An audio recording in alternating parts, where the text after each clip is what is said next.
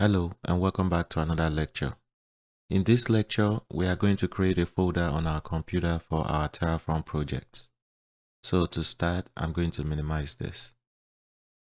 Pick anywhere on your computer where you want to create your folder for your Terraform project. I'm going to create my folder on my desktop. So what I'll do is I'll right click here. I'll select new and I'll select folder and I'll call my folder Terraform projects.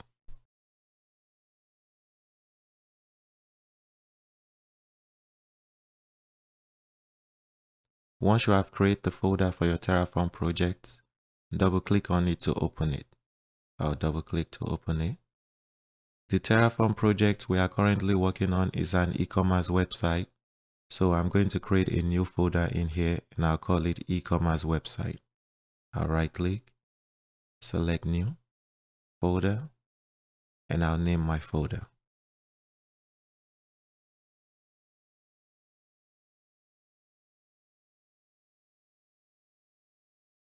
Once you have created the folder for this project, that is all we need to do in this step.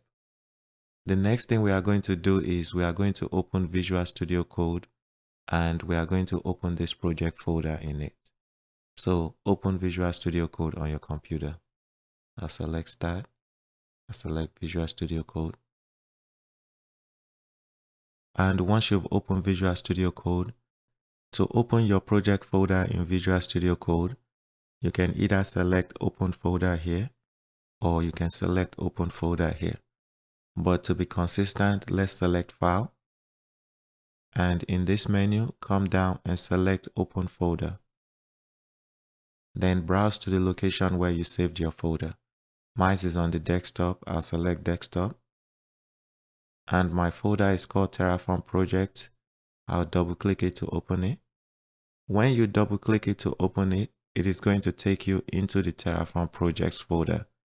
And in that folder, the main folder we want is this e-commerce website.